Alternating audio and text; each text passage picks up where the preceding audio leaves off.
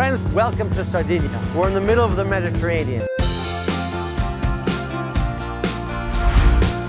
And we're here tonight with a very special chef. This is what we all want to know.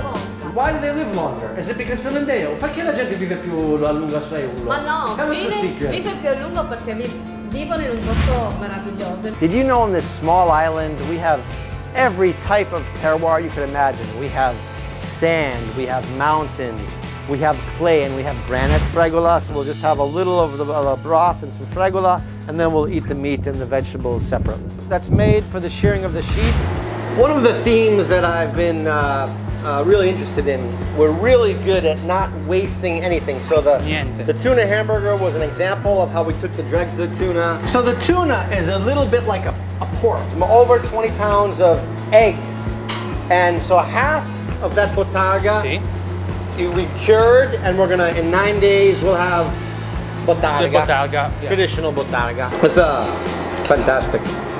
Really, really fantastic. So th this is a flower that we collected today and uh, it really tastes like horseradish. And that's a poem. Questo è il piatto.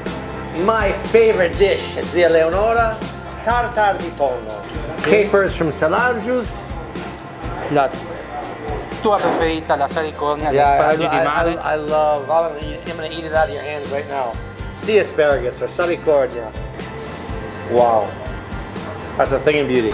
If you're interested in this, come and join me and Giuseppe Caros on Sunday night and learn about Sardinian wines, bread, honey, cheese, and more.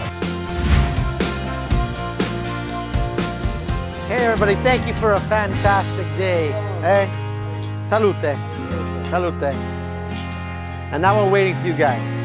Benvenuto.